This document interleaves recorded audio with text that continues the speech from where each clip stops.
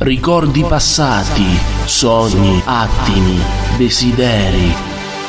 E la voce che dice che la razza umana è più grande di quanto essa sa. Rispecchia il pensiero e l'ispirazione della gente. E l'arpa dell'anima e lingua dello spirito. Ci ha insegnato a vedere con l'orecchio e a udire col cuore e tra tutte le arti esalta l'armonia universale e suscita la fraternità dei sentimenti. Questa è la musica su Luna Café Deep Soul Sound. E se ve lo dico io che sono calabrese e ho 94 anni vuol dire che la musica ringiovanisce.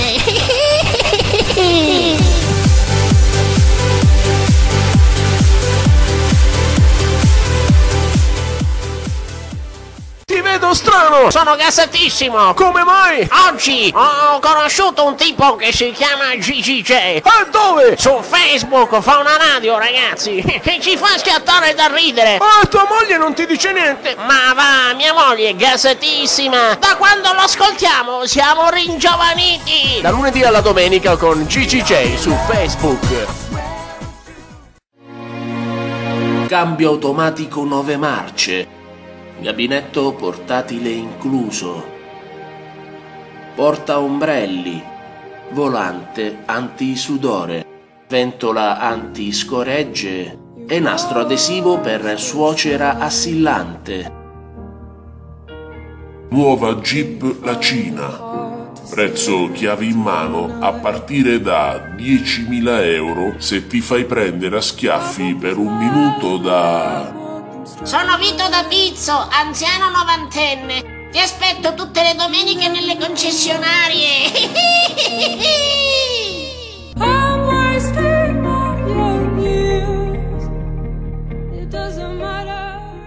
Laureata in scienze geografiche, specializzata in giornalismo, ha lavorato in diversi ambiti dell'editoria, da Radio Vaticana a Confindustria fino ad approdare all'ufficio stampa di Italy Roma, dove gestisce anche canali social e collaboratrice del Corriere della Sera.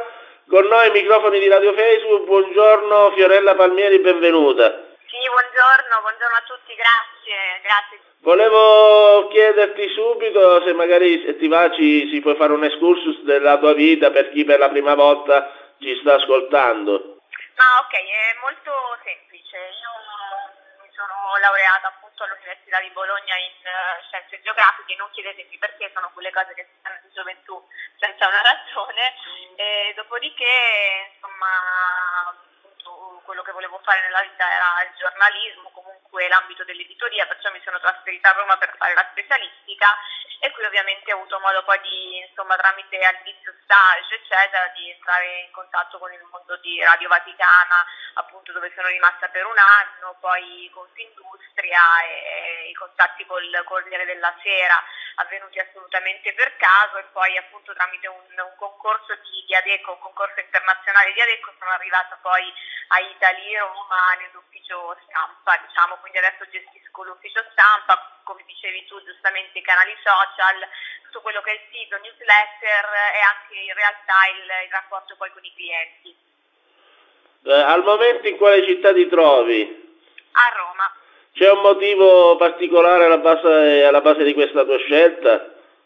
Ma guarda, l'ho, scelta sostanzialmente quando appunto ho finito la, la laurea triennale a Bologna perché Roma in quel periodo mi sembrava la città migliore poi per il campo in cui volevo lavorare e sicuramente adesso sono molto ispirata anche da Milano, diciamo, perché adesso un po' diciamo, tutti i posti generali delle grosse aziende si stanno spostando lì, però comunque a me piace stare a Roma, qui ho costruito la mia vita, quindi diciamo che poi ci sono rimasta un po' perché ovviamente ho cominciato a lavorare qua e quindi mi piace molto come città, perciò ecco diciamo che adesso sono, sono qua per il momento, poi non, non si sa mai. Ho visto che ti occupi di cucina, allora ti chiedo subito cos'è la rubrica Big Cock. Lella Cook si chiama, è un blog sostanzialmente che parla di enogastronomia E sì, io ho una passione per la cucina nata neanche tantissimo tempo fa, diciamo, sarà nata uh, 7-8 anni fa più o meno. E quindi mi, mi, diverto insomma poi a scrivere in questo blog quelle che sono le, le mie ricette ma anche altre cose eventi a cui posso partecipare piuttosto che segnalazioni di posti che mi sono piaciuti che insomma riguardano appunto l'enogastronomia Senti, allora ti chiedo subito cosa ne pensi della cucina italiana. Eh beh, la cucina italiana io credo che sia veramente la, la migliore del mondo, nel senso che se c'è un punto forte eh, dell'Italia in questo momento sicuramente tutto quello che riguarda la gastronomia italiana. Abbiamo una varietà di cose incredibili, da regione a regione, possiamo veramente vantare un patrimonio uh, fortissimo da questo punto di vista. Quindi eh, dirmi cosa ne penso veramente è superfluo perché è riconosciuto a livello mondiale, quindi ecco, sicuramente è molto molto forte ed è una cosa su cui dobbiamo puntare anche all'estero. Ma quali alimenti, a quali alimenti non rinunceresti mai, diciamo, nelle tue diete?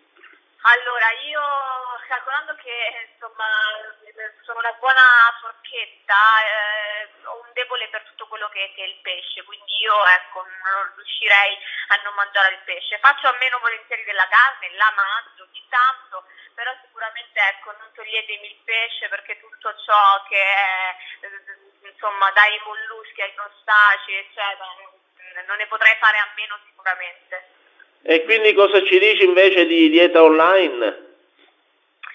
Dieta online in realtà ho collaborato con loro per un, uh, un, po' di tempo perché me l'hanno chiesto e lì diciamo che trattavo più che altro di, di cose biologiche, anche se io poi diciamo che col biologico mh, ho un po' un, del biologico un po' una concezione strana, nel senso che ci sono, è giusto mangiare biologico, però ci sono molte aziende che magari producono biologico che non possono permettersi economicamente la certificazione di biologico e quindi non sono ecco, targate nei supermercati come biologiche quando il prodotto in realtà è proprio questo. Quindi ecco un consiglio che posso dare guardate sempre le etichette dei prodotti. Se cercate qualcosa di biologico non fissatevi solamente nel reparto biologico del supermercato ma guardate anche oltre perché ci sono tante piccole aziende che fanno bene e che producono biologico anche se non sono certificate come tali. Dato che è calabrese di Crotone, se ci vuoi dare una ricetta magari in diretta calabrese?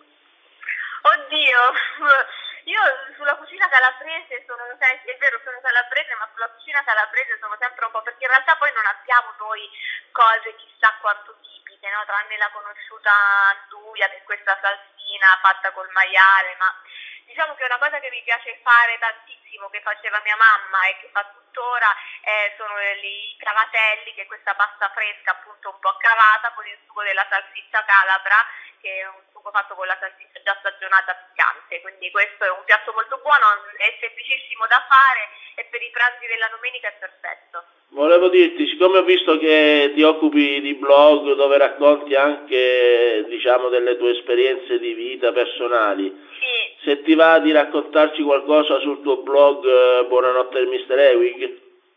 Allora, Buonanotte Mr. Ewing sì, è un blog che parla della mia esperienza personale perché io tanti anni fa mi sono ammalata di, di questo raro sarcoma dell'osso che si chiama appunto sarcoma di Ewing ed è stata un'esperienza molto forte perché ovviamente mi sono trovata a 26-27 anni eh, un po' in mezzo a questo nel turbine di questa malattia molto, molto pesante.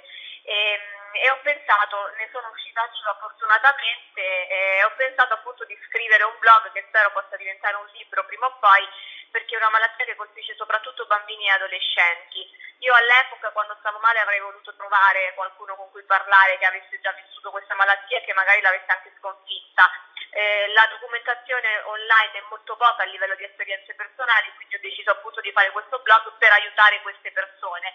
La cosa riesce perché anche attraverso la pagina Facebook mi scrivono insomma purtroppo delle persone, dei genitori soprattutto che hanno i figli che si sono ammalati e che mi chiedono magari dei consigli a cui ecco, non riesco purtroppo a trovare una soluzione perché quella la deve trovare la medicina, però riesco magari a dare conforto e dare anche un po' di speranza. Quindi a quelle persone che ci stanno ascoltando su radio Facebook che messaggio vorresti lanciare?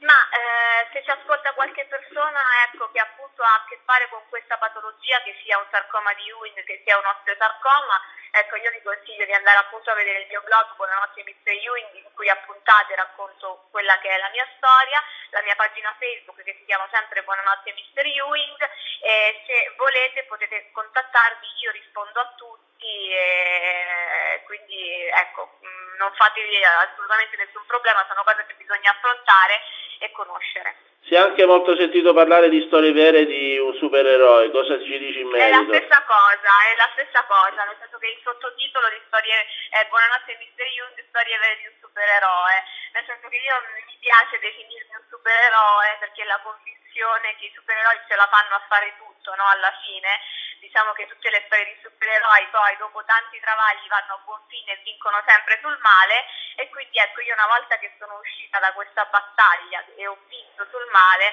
ho pensato di, di, di, di chiamare il sottotitolo di questo blog eh, Storie vere di un supereroe. Cosa Perché ti appunto i supereroi di solito fanno st- storie inventate, la mia è una storia vera di un supereroe che ovviamente sarei io ma è molto ehm, eh, diciamo ha preso un po' mh, scherzosa come cosa, ecco.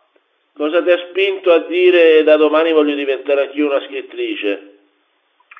Beh, eh, questo in realtà ce l'avevo un po' nel DNA perché mio padre è uno scrittore e quindi diciamo che ce l'ho sempre avuto nel DNA da quando ero piccola. Io quando ero ancora piccolissima mi mettevo alla macchina da scrivere di mio padre, mi facevo i miei libricini e, e me li rilegavo da sola con il filo e con l'ago, diciamo. E quindi è una cosa che ho sempre avuto in testa, l'ho sviluppata. Quando scrivere diciamo che riesco a esprimere il meglio di, di me. È più facile per me scrivere che parlare, ecco. Ma è vero secondo te quindi che scrivere in qualche modo aiuta a vivere meglio? aiuta tantissimo.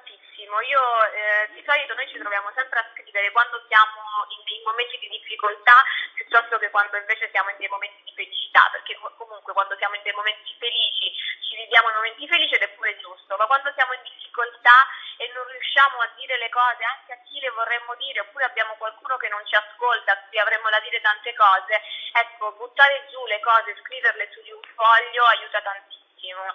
Ed è una cosa che eh, se non la si prova non la si può capire. Progetti per il futuro? Puoi anticiparci qualcosa? Ma chi lo sa, adesso ecco, per il futuro c'è l'intenzione appunto di pubblicare questo libro che io sto mettendo sul blog a puntate e di farlo diventare quindi un libro. Perciò questo è il mio progetto più, più importante per il futuro, che è una cosa che riguarda me e, e la, vorrei riuscire a realizzarla. Per coloro che volessero cercarti, oltre a Facebook, hai un sito? Ma allora, eh, il sito loro mi possono raggiungere o da Buonanotte Mr. Ewing oppure dal, dall'Ella Cook che è il mio sito di, di enogastronomia. E lì ci sono tutti i miei riferimenti e quindi mi possono cercare tranquillamente. La mia mail è fiorella.palmieri.it e quindi se, se mi vogliono scrivere assolutamente sono raggiungibile. Grazie a te, grazie a te davvero DJ, alla prossima! Ciao!